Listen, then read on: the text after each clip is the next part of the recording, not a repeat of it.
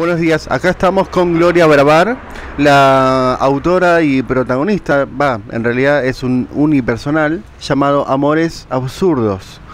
¿Qué tal? ¿Cómo va? Hola, ¿qué tal? ¿Cómo estás? ¿Cómo están? Queremos saber de qué trata esta obra.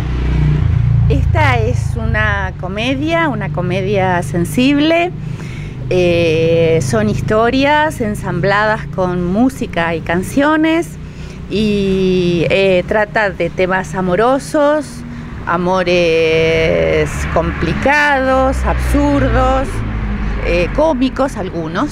O sea, el tópico general sería el amor. El amor con humor y magia. Bien. Se presenta esta obra acá, eh, ¿dónde? En la biblioteca. La obra se presenta en la Biblioteca Popular Juan 23 el jueves y sábado de esta semana a las 22 horas. Bueno, bien. ¿Cómo es el tema? Queríamos saber hace cuánto es que estás con esta obra y en qué, en qué lugares los presentaste.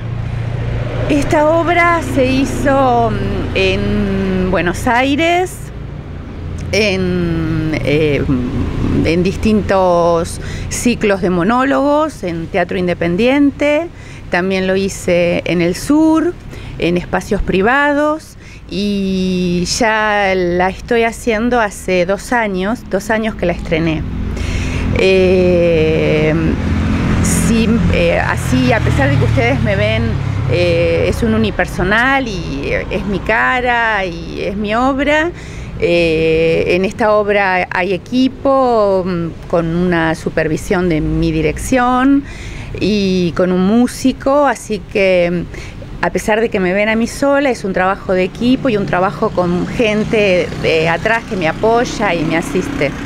Como la gente que está ahora acá en San Clemente, amigos que también me están dando el, espacio y la posibilidad de hacerla y acompañándome en esto.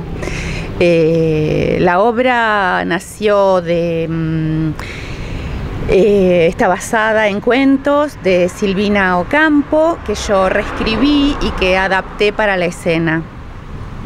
Y bueno, así como con el espíritu de Silvina Ocampo, eh, son historias eh, que rondan lo absurdo, la magia metida en la vida cotidiana y lo mágico, y lo mágico.